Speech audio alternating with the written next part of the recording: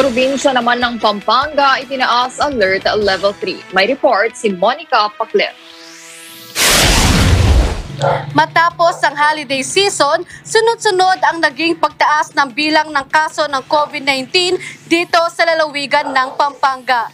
Dahil dyan kabilang ang probinsya sa isa sa ilalim sa Alert Level 3 na magiging epektibo simula Enero 9 taong kasalukuyan. Bukod sa mga selebrasyon nito lamang holiday season, tinitingnan ding dahilan ang pagpasok ng Omicron variant kung kaya't walang tigil ang naitatalang pagtaas ng mga bagong kaso.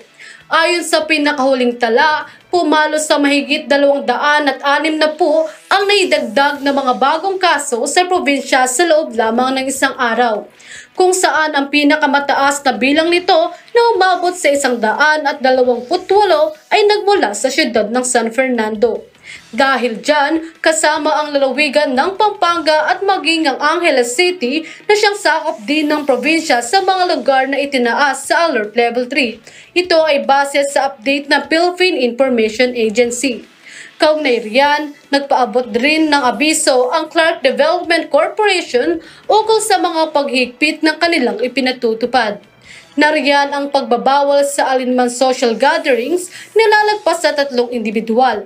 Pagbabawal din sa mga menor de edad na hindi ba kwalipikadong mabakunahan na makapasok sa alinmang public areas na Clark Zone habang tanging fully vaccinated lamang ang maaaring makapagsagawa ng physical o sport activities at ang pagpapatupad ng mga proactive measures gaya ng antigen testing, temperature check, symptom monitoring at iba pang health and safety protocols sa lahat ng mga CDC locators.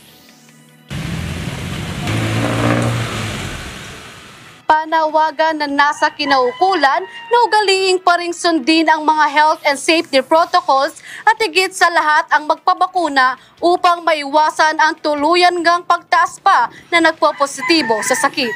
Mula rito sa Pampanga, Monica J. Pacleb para sa Eagle News, we live in interesting times.